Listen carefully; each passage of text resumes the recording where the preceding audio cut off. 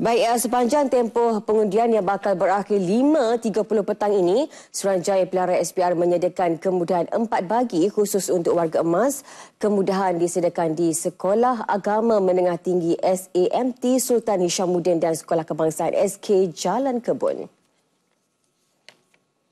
Malak SPR juga turut menyediakan kerusi roda di 19 pusat pengundian untuk kemudahan warga emas dan orang kurang upaya OKU.